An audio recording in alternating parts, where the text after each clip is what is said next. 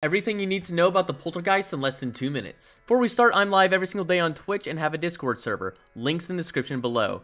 But anyways, let's get started with the guide. Number 1, the Poltergeist has Spirit Box, UV, and Ghost Writing. Number 2, the Poltergeist can throw multiple objects at once, which decreases the player's sanity by 2% for every item that's thrown. Number 3, the Poltergeist is less effective in a room with little to no objects. This is because it's incapable of using its strength. Number 4, you can test for a poltergeist during a hunt. This is useful if you can't test a poltergeist via its strength or if you're doing a no evidence run. Go to a long piece of furniture like a table or a couch. Next, place lots of items on top of that long piece of furniture. During a hunt, loop the ghosts around that table or couch and observe the items that are being thrown during that hunt. Poltergeist will throw objects with a higher speed and intensity and will make a huge mess from the items. Sometimes that mess is so big that it will cover the entire room.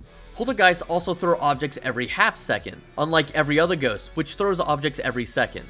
Number 5, Poltergeists hunt at a normal standing range of 50% or lower. And number 6, the Poltergeist has an average roaming speed of 1.7 meters per second with a standard line of sight speed up and a normal top speed during hunts.